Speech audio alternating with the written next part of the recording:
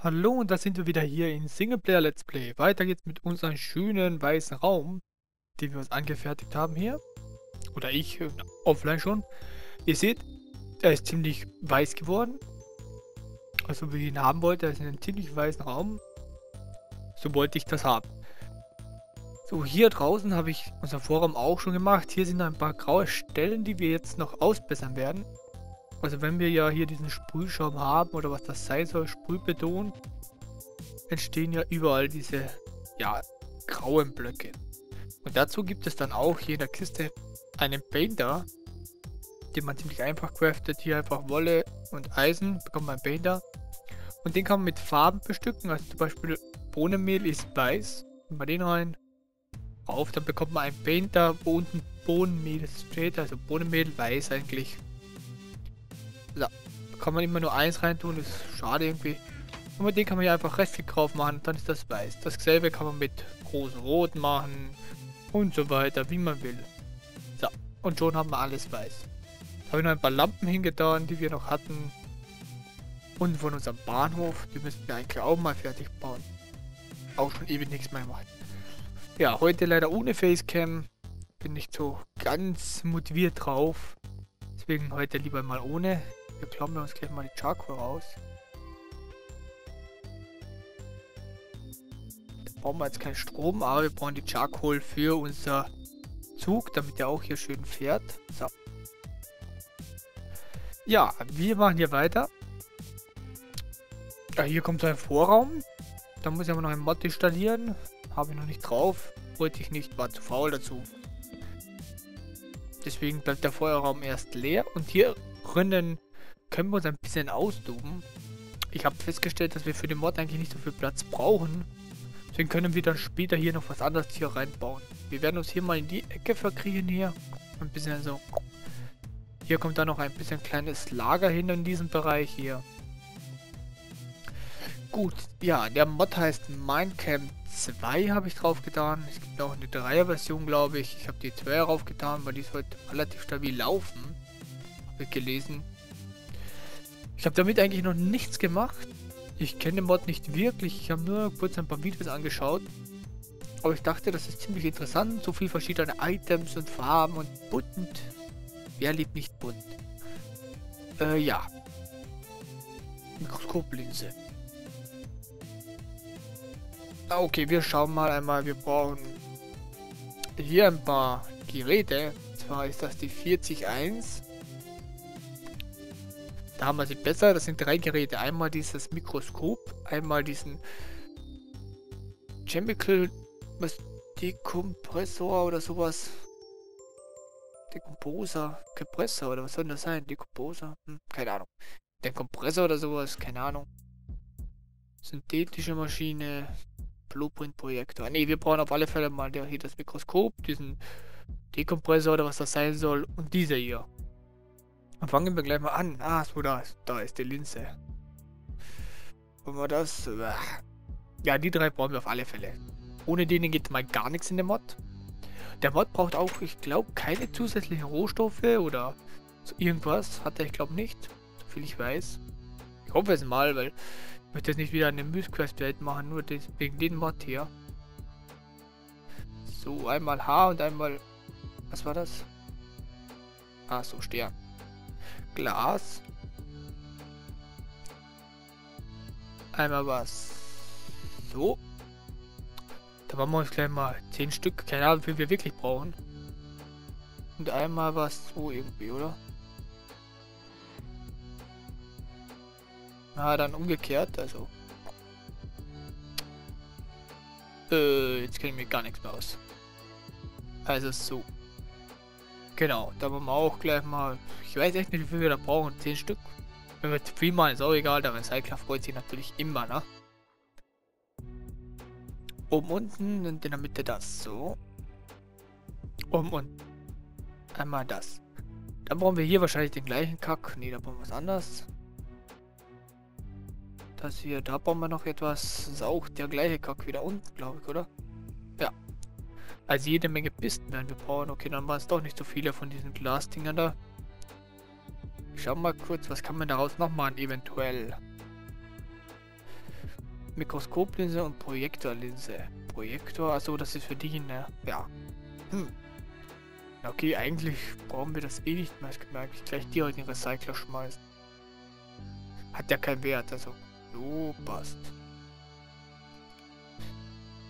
Also hier ein Glas, dann war Iron, ne? Na komm. Das Schreiben ist auch schon schwer hier. So. Und der war hier, oder? Genau. Mikroskop. Speziell. Dann haben wir das schon mal hinter uns. Ist schon mal der wichtigste Bestandteil. Dann brauchen wir noch das hier. Das ist Pisten Block of Iron. Geht so irgendwie, ja. Zwei Stück. Und dann brauchen wir jede Menge Pisten. Ich hoffe, da haben wir ein Rezept. Ja, haben wir. Das sind 3, 6, 8, 16 Stück. 16, Mama. 20, komm, Mama. So. Du noch ein, du. Zweimal haben wir das. Was brauchen wir denn noch? Redstone und...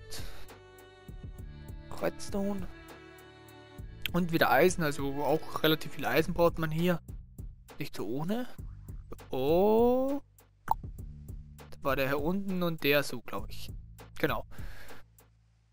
Der Decomposer. Und dann brauchen wir noch diesen hier. Ein Diamant anstatt Redstone. Okay, hätte ich wissen müssen. Nee, habe ich nicht. Also, ja, so billig ist es nicht. Diamanten haben wir eh nur noch 30. Da müssen wir mal zum Bahnhof runtergehen und schauen. Damit verarschen. Der hier. Also oben Redstone. Okay, das habe ich übersehen. Also doch ein Redstone brauchen wir auch. So, aber jetzt haben wir einen. Die Maschine schaut relativ lustig aus. Wenn man sie so in der Hand hält, sieht man schon ziemlich, ja. Hier ein Mikroskop schaut ziemlich wie das Mikroskop auch aus. Äh, dann gehen wir mal hin und platzieren die Nacht. Machen wir Tag. Gehen wir doch mal schlafen, bevor wir uns das zur Brust nehmen hier. Der Mod hat es eigentlich in sich. Ich habe mir da ein paar Videos angeschaut. Also ziemlich interessante Sache. Da kann man das ganze Periodensystem, was es so gibt, sollte ja jeder kennen von der Schule her. Und für die, die was nicht in der Schule waren, ja, googelt er es einfach mal. So, ich würde aber irgendwo draufstellen. Das wäre ja cool, wenn man irgendwo... Was ist denn das? Ah, so ein Block. Ah, die Chest werden wir dann später auch noch brauchen. Was die genau macht, werde ich euch dann später erklären. Ja, da kann man halt radioaktives Zeug drinnen lagern. Gibt auch radioaktives Zeug, das dann sich in Luft auflöst und so weiter. Aber ich will jetzt irgendwie einen Block haben, wo ich die draufstellen kann. Also die Geräte, dem kann man ja irgendwo draufstellen. Ich glaube, wir machen einfach Konstruktionsfarm und Sand und machen uns da schön. So machen wir das am besten.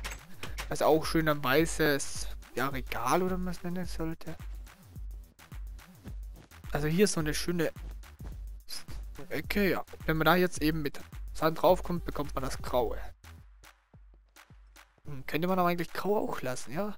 Schaut gar nicht so schlecht aus. Wir fangen an mit dem Mikroskop, das kommt an erster Stelle hier hin. Da kann man da schon reinschauen, das ist ein bisschen hoch, aber egal. Jetzt weiß ich nicht, welche wir eher brauchen, egal, dann machen wir hier eins frei. Eins frei, habe ich gesagt. Ich hoffe, kann man so abbauen, ja. Eins platzt die hier und dann hier in die Ecke kommt der hin. Das ist so ein bisschen, ja. Ihr versteht schon, wie ich meine.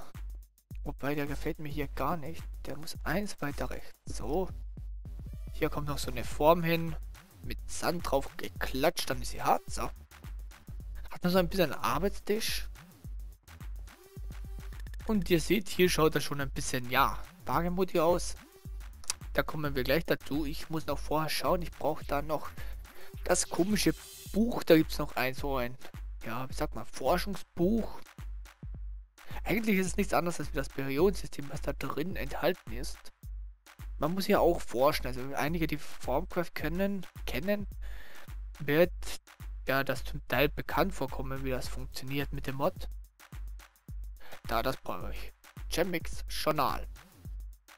Eine Tube, okay. Ja, Tubes werden wir jede Menge brauchen. Buch brauchen wir auch dazu. Äh, wo bin ich jetzt? Jetzt bin ich ganz da. Das heißt, wir brauchen wieder Glas. So. Da können wir uns gleich mal ein paar Stack machen. Auf Glas haben wir genug, ja. Also die werden wir sicher in Massen brauchen. Und wir brauchen ein Buch.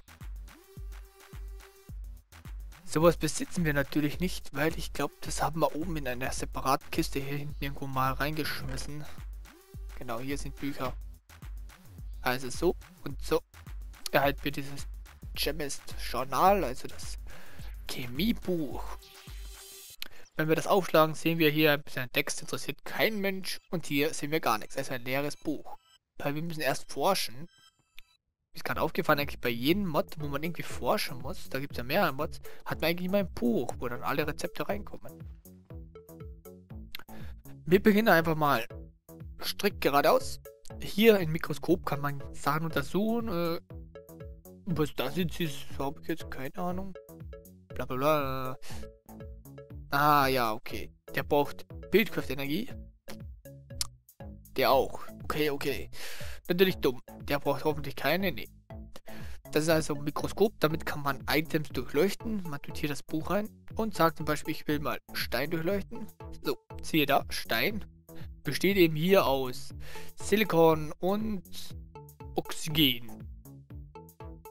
Die zwei braucht, die zwei bekommt man aus Stein raus. Und kostet 50 Megajoule.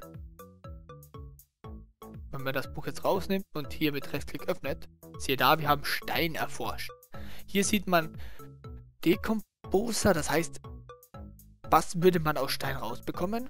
Also wir haben eine 20%ige Chance, dass wir das rauskommen, also Eisen, Magnesium, Oxygen oder so. Also kann man mehr rausbekommen. Titanium. Und wie man es herstellt, kann man da weiterblättern? Nee. Herstellen tut man es aus Silikon und Oxygen in Synthesizer. Synthi ja, das? Synthesize. Also das ist dann die Computer in Synthesizer. Wenn man das so anordnet, die zwei hier drin anordnet und natürlich auch das Buch dazu tut, hier sieht man eh schon das Rezept, kommt mal Stein raus. Wir haben natürlich die zwei Komponenten nicht, die müsste man auch reinlegen. Wir haben auch keine Bauer hier. Also schon ein etwas interessanter Mod. Das heißt, wir brauchen hier erstmal ja, hm. Bauer. Wo, wo holen wir die her? Das ist echt kacke jetzt. Sorry, dass ich sage, aber das ist scheiße hier. Das ist mein Plan. Das heißt, wir müssen hier die Blöcke wegschlagen. Dann gehen wir da nach unten und hier unten entlang. Mit der Bauer. Pipe. Und wir müssen hier hinten irgendwo hin. Oder wir machen Desarek. Nee, Desarek will ich da nicht haben.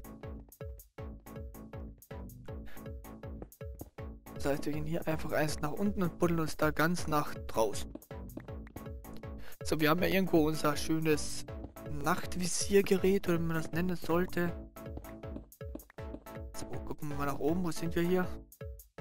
Noch ein bisschen weiter. Hier mal nach oben gucken. Ja, fast perfekt, ja. Siehe da. Bin schon mal hier bei den Tessarex und da können wir hier hinten gleich abzapfen.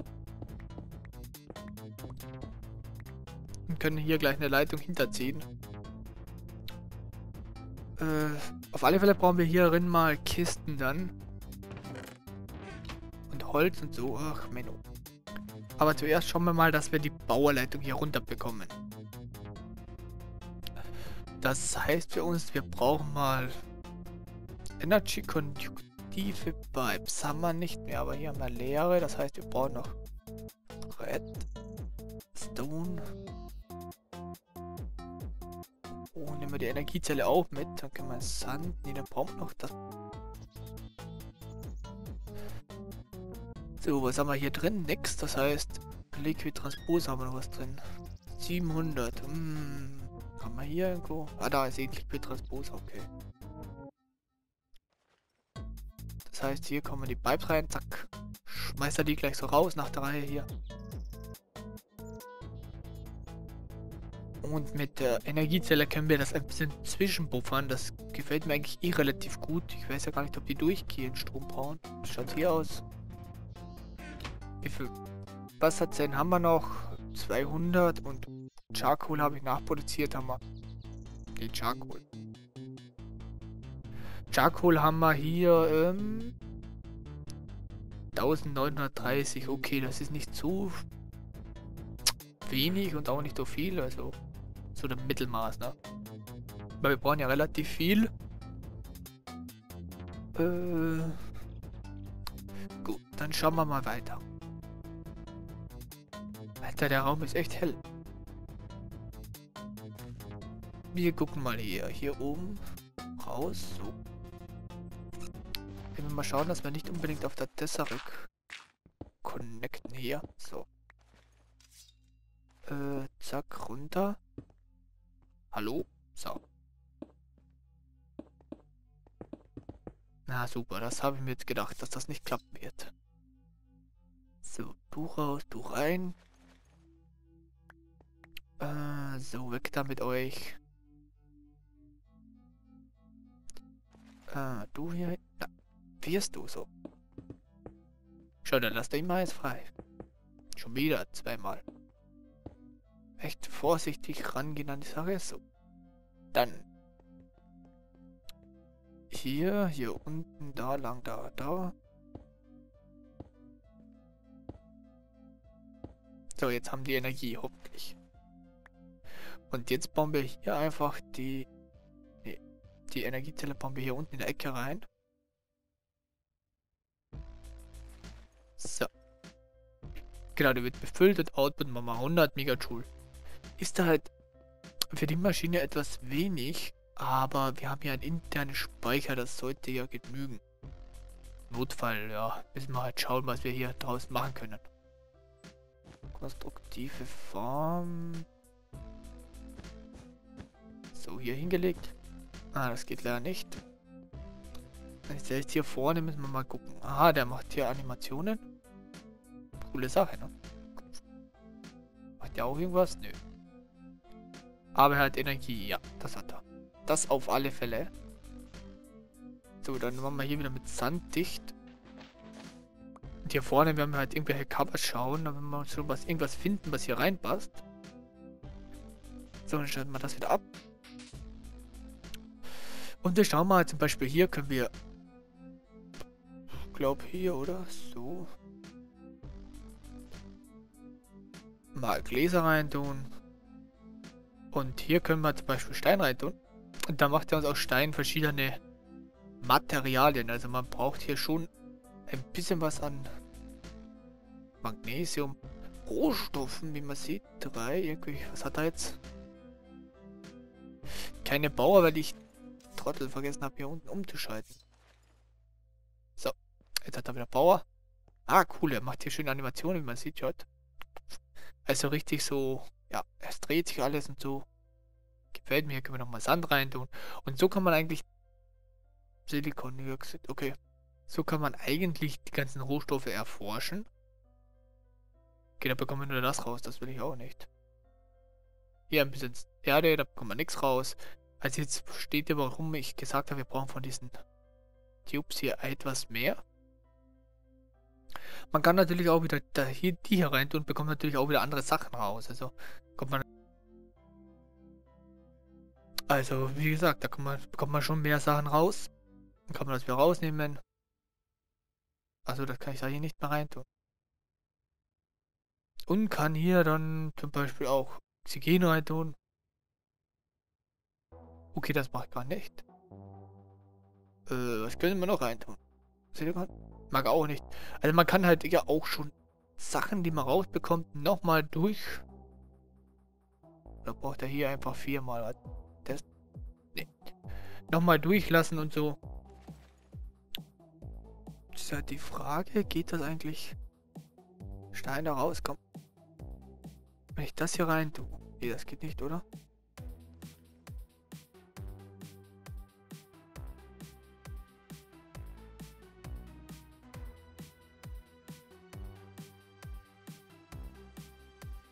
Das wie gesagt, mit Mod kenne ich mich selbst noch nicht so gut aus. So. Irgendwie kommt man die Sachen ja auch hier ins Buch rein.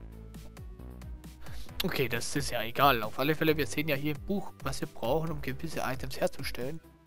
Jetzt ist mein Inventar aber mehr als voll. Jetzt müssen wir uns unbedingt Kisten organisieren. Später werden wir das irgendwie mit Barrels oder so machen.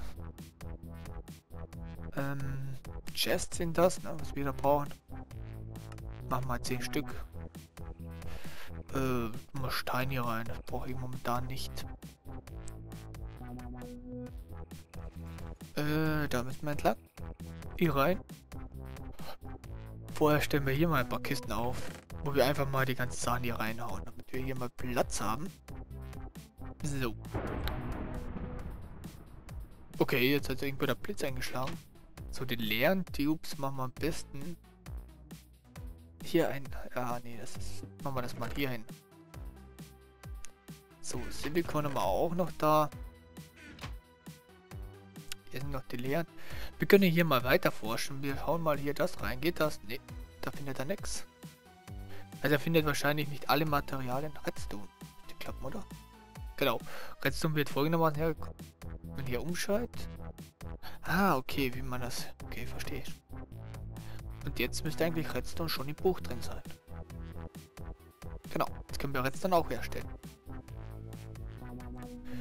Wir brauchen Eisen. Was haben wir denn alles eigentlich? Oxygen und... Was brauchen wir für Steine, haben wir gesagt? Silikon und Oxygen. Wir haben Silikon und wir haben Oxygen. Wenn wir die zwei hernehmen, mal gucken, untereinander angeordnet, bräuchte man die eigentlich hier rein den oben, den unten, siehe sieben Stein, dann mal hier einen rein und hier einen rein, so wie bei, wie heißt der dann, wo man die Tubes erstellt, muss man das natürlich auch machen. Und dann kann man hier Stein rausnehmen. Sieben Steine haben wir rausbekommen und hier haben wir zwei leere Tubes rausbekommen. Könnte man natürlich hier nochmal wieder reintun. Zack. Und bekommt man natürlich wieder sieben Steine raus. Also es erinnert schon sehr auch an Equivalent Exchange, aber man muss hierfür natürlich schon ein wenig mehr machen. Ich glaube, wenn ich hier zum Beispiel Redstone angeklickt habe und das dann hier wieder reinpacke, zeigt er mir immer das Rezept an, was ich hier im Buch angeklickt hatte. Also ist natürlich auch nicht schlecht. So, jetzt haben wir hier noch immer unsere Produkte, die da rein wieder. Ember brauche ich jetzt nicht. So, warum dreht sich da durchgehend? Also die Animation geht durchgehend anscheinend. Hat Vor- und Nachteile. Oder brauchen die durchgehend Energie? Das kann natürlich auch sein. So, Konstruktionsfarm, das brauche ich nicht mehr, das nicht. Dann wir uns mal schauen, was kann man dort? Äh, sorry, aber haben wir keine Erde mehr? Bin ich jetzt blöd oder was? Was können wir noch? Zum Beispiel Glowstone ist auch interessant. Kann man sich auch rausholen. Oder Lapis. Man haben wir jetzt genügend, aber das muss ja nicht. Oder Oakwood. Charcoal, weiß nicht, aber Kohle. Diese Sachen müssen eigentlich alle funktionieren. Man kann auch Diamanten draus machen, falls der ein oder andere interessiert. So. Sperren wir das rein. Also so wie bei Formcraft man ja auch die ganzen Items erst einlesen in das Buch sozusagen. Erforschen. Dasselbe muss man ja auch alles untersuchen. Also Lapis braucht Lapis. Für Glowstone. So. Braucht Phosphorus. Keine Ahnung, was das ist. Phosphor, wahrscheinlich. Erde, Oxygen, Silikon, das haben wir eh.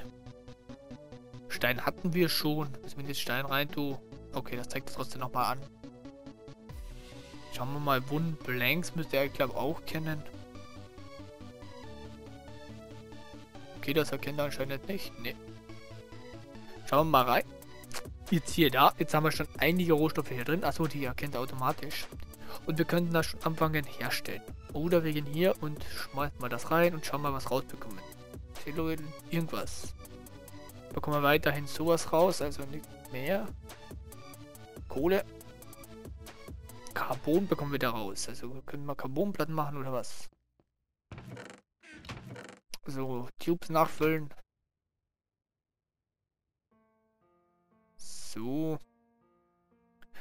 Also ihr seht, da kann man einiges mit dem Mod machen. Lapis, kann man Lab, irgendwas raus. Und mit denen, wenn man die dann verschieden kombiniert, bekommt man natürlich auch wieder andere Rohstoffe raus. Also meiner Meinung nach schon eine interessante Sache, das Ganze. Da kann man das wieder reintun. Und bekommt hier wieder verschiedene Sorten raus. Celsius sollte auch gehen, ja. Also man bekommt immer wieder was Neues raus. Schauen wir nochmal. Haben wir noch ein paar Tubes. Also man braucht wirklich enorm viel Tubes, also enorm viel Glas. Seht, hier kommt auch wieder was raus. Wenn man das reintut, bekommt man da auch wieder was. Ja, Silikon, okay. Jetzt werde ich mal testen, kann man das auch untersuchen jetzt. Ah doch, das geht, okay. Mal das Buch da reintun, dann sieht man, was man braucht, um das rauszubekommen. Mhm, okay. Also die, wo Punkte daneben sind, kann man anscheinend untersuchen. U4, ja klar, ja klar, verstehe ich schon. Weil die ja aus mehreren zusammengesetzt sind. Zum Beispiel hier... Na ist natürlich aus nichts zusammen. Also Sodium besteht nur aus Na11. Aber zum Beispiel hier, das besteht aus SU4, also aus verschiedenen, oder hier A, ALSIO, irgendwas. Also hier aus Aluminium, Silikon und Oxygen besteht das. Oder hier aus Carbon, Hydrogen und Oxygen. Also muss man auch ein bisschen aufpassen, das ist jetzt bei nur Carbon, da findet man natürlich keine Zusammensetzung. Hier ist nur Hydrogen, auch keine Zusammensetzung. Also schon eine interessante Sache. Und jetzt haben wir die auch hier drin. Seht ihr? Zack. Man kann da dann nachschauen, was man braucht. Also wirklich eine feine Sache dabei. Ich werde hier offline ein bisschen noch rumspielen. Und ein bisschen forschen und so, mich mal ein bisschen einarbeiten in den Mod. Damit ich mich auch ein bisschen besser auskenne und mal durchprobieren. Dann würde ich sagen, wir sehen uns wieder in der nächsten Folge. Wir werden hier wahrscheinlich so ein Abteil machen, dass wir hier so dann schon wieder zumachen. Und ein separates Lager dann hier bauen. Für die ganzen Sachen lagern. Oder wir lassen hier offen und bauen hier auch noch irgendwas hin. Was Interessantes. Na, mal sehen, was mir hierzu noch einfällt. Auch die Texturen und die Animation gefällt mir eigentlich ziemlich gut von dem Mod. Das sieht hier schön mit auf, ab und zu. Darauf muss man erst kommen, ne? Hier mit der Schleuder und Mikroskop hier. Oh, eine coole Sache. Gut, dann würde ich sagen, das war's. Schaut gut aus, der Mod. Gefällt mir. Bis dahin. Ciao, Leute. Lasst einen Daumen hoch da. Oder ein Abo. Wir sehen uns in der nächsten Folge. Tschüss, Leute.